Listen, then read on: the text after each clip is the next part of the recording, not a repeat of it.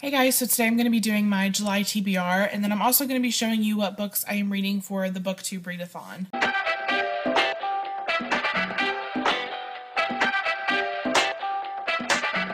So first I'm just going to show you the pile of books that I hope to read by the end of July. The first one is Watership Down, which is a classic that I've never read before or never really heard of before this week.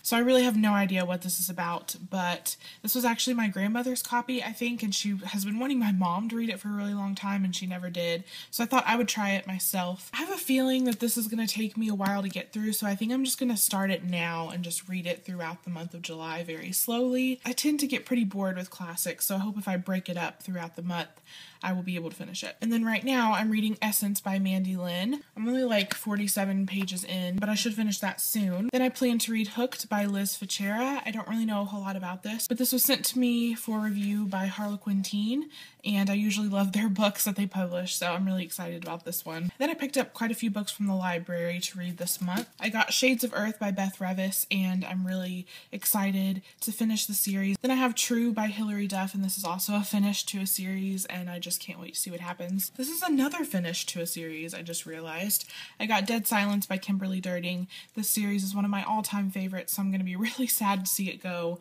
but I need to know what happens in the last book. Then I have Dustland's Rebel Heart. I don't really know which one is the title, by Moira Young, and this is the sequel to Blood Red Road, which was like one of my favorite books of 2012, so yes very excited. Then I got Lullaby by Amanda Hocking, which is the sequel to Wake. Again, I loved Wake, so hopefully this book will be as good as the first one. Then I picked up Siege and Storm by Leigh Bardugo, which is the sequel to Shadow and Bone. Loved that book. I have a lot of sequels and books in series for this month. And now I'm going to show you the books that I want to read for the BookTube Readathon. For those of you who don't know what the Readathon is, I will leave links to the videos that tell you all about it, but I'm sure that most of you know what it is by now. The main goal is to read 300 pages a day. There's also some other challenges that you can choose to participate in. You don't have to do them. I think I have books that fulfill all the challenges. So two of the challenges is to read a classic and to listen to an audiobook, and I'm going to combine those two, and I'm going to listen to Pride and Prejudice by Jane Austen. I tried to get into the book book a long time ago and couldn't, so I'm hoping that the audiobook will help me out and help me get through it quicker. I'm not sure how many hours it is. I can't find anywhere on here, but I think I can finish it in one day. Then I plan to read The Farm by Emily McKay. This one is 420 pages. Then I want to read Silver Linings Playbook. This one is just under 300. It's like 280 pages. Then for the challenge to finish a series, I plan to read The Death Cure by James Dashner. This is the third and final book in the Maze Runner trilogy. Then I plan to read Harry Potter and the Chamber of Secrets.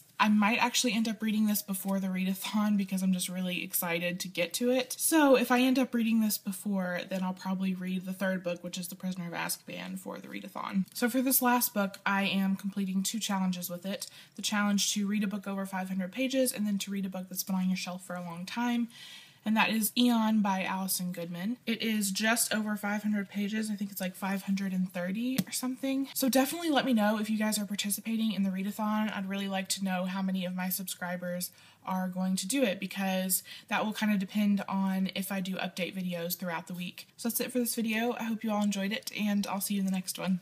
Bye.